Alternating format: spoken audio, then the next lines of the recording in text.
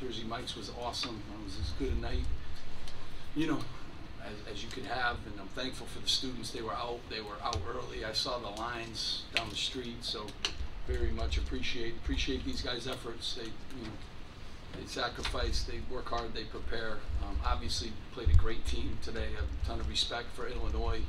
They're as good as any team in the country. They could win a national championship. And, uh, you know, we played hard and, and, and played well. Uh, hoping Ron can recover quickly here.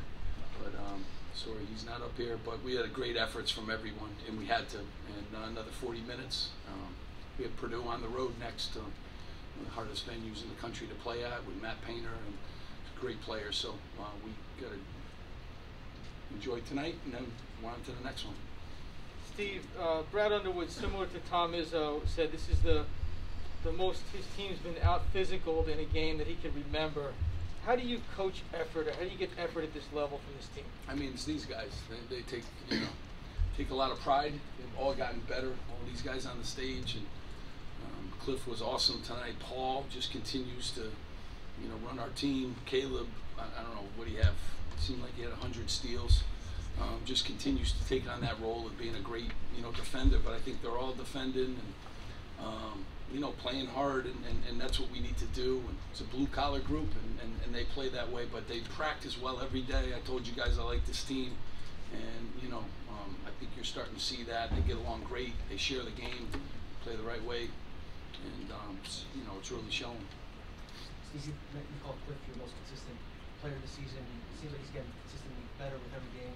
Had a big matchup against Kofi, and Brad Underwood was very complimentary with him. Just how do you think he competed in that matchup, and just how have you seen him evolve game game? Yeah, I mean, you know, just getting better, and I just think, you know, throw a tape on him from last year and, and look at how far he's come defensively, outstanding, and you know, you're playing an elite player. I thought we did a great job on him. He had 20 points and 10 rebounds, and I really did. Um, Cliff had to work. Dean came in. You know that center spot has been really good for us, and um, giving us all good minutes. But I think these guys, you know, they deserve all the credit. They got better. They had unbelievable summers. Every single guy came back better, and you're starting to see the work that they come in and they come ready. They come ready to practice, and you, you know they prepare the right way. So um, you know, Cliff is Cliff is that. You just see it coming. His best days are ahead of him too. So, Steve, what was Ron's injury? Uh, you know, honestly, I don't know. He hurt his hand, so we got to kind of figure that out. And he's down there with the doctors now. Is there? How would you rate the level of concern? I mean, he look look pretty. Anytime any of my players go down, I'm concerned. You know, uh, Ron's an important part of this, but you know, I don't want anybody to get hurt. Uh, but there's nothing but obstacles when you play in this league, and you know, Ron will get the best. Our doctors are awesome. We got good people here. Teammates will help them through.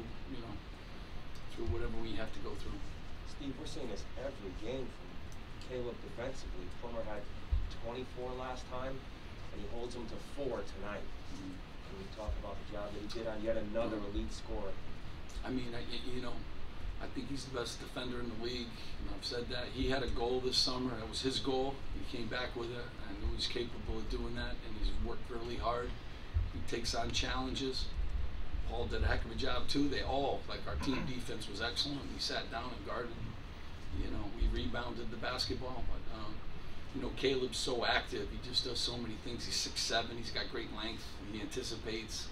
You know, but he likes the challenges of you know playing the best players, and you know that's awesome for a coach because you know everyone always talks about all points, and you know that's what everyone, you know, it's all about that. There's so much on the other side of the ball that's means winning or losing, you know, and you know he does all those things, and that's why you know we're winning, and they're all kind of playing together, and, and they have each other's backs on that defensive end, and he's kind of the guy that leads us.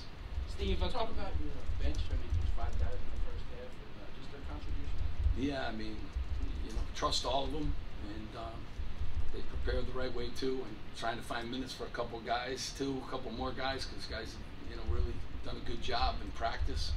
Um, but we needed a lot of bodies tonight, and um, you know, I trust Mawot, I trust Aundre with some huge rebounds. Jalen can guard anybody. Dean just getting better and better, and right before all of our eyes, you know, and. Uh, you know, trust Oskar a lot too. Jaden Jones has been great in practice, and you know, it's just you know, sometimes these guys are playing at such a high level. You know, it's it's, it's hard, but you know, love my bench, and now with Ron, whatever that is, we're gonna have to really, you know, dip into it.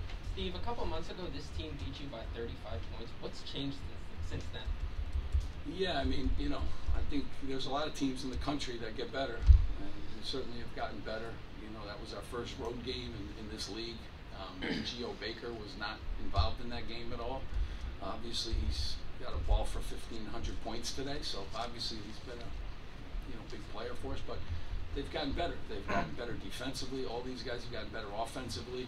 You know, the work that they put in, and you learn from games like that. We learned a lot from that game, and you know, I think it helped us tonight. You know, Steve, the, the blackout, everyone's seen the guy things. Who makes that call? Is it your call? Players? Who makes that call? Cliff. Cliff, Cliff decided. Paul seconded, Caleb thirded it. No, I'm just trying to win the game, so I don't really get involved with that stuff. So, you know, I'm thankful that the people came, and, and you know, I'm, I'm, I'm always appreciative. They're loud, and, and they were great tonight. So, yeah, I don't, I, I, I don't, Pat. Good question, ask Pat. How do you explain the turnaround in rebounding specifically? Minus 14 last time, plus 18 this time. That's against one of the best rebounding teams in the Big Ten. Yeah, they're the best offensive rebounding team, you know, one of the best in the country. You know, obviously it's an emphasis when you play them. Been a great rebounding team forever. When you got a guy that big too in the lane, takes up so much space. Um, you know, but it was team. You know, it started with Cliff, but everyone stuck their nose in, and everyone had to, you know, dig a few out. And, you know, I just thought we were real focused on that. Every time out, we were talking about it, and at halftime, you know, um, it's a recipe for winning. You know, if you can rebound, you know, it helps you in a lot of ways.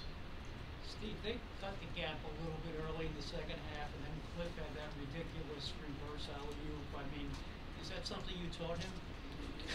I don't know if you, I don't know if you teach that. I, I couldn't jump that high, so.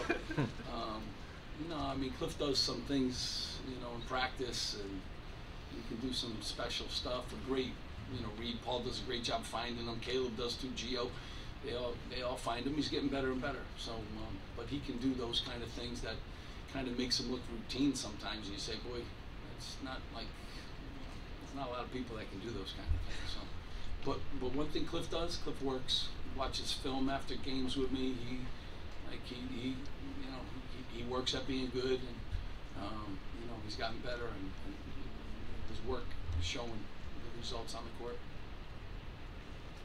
Steve, I know you guys go game by game, try to, you guys are a game from first place in the Big Ten. Yeah. Going to Purdue.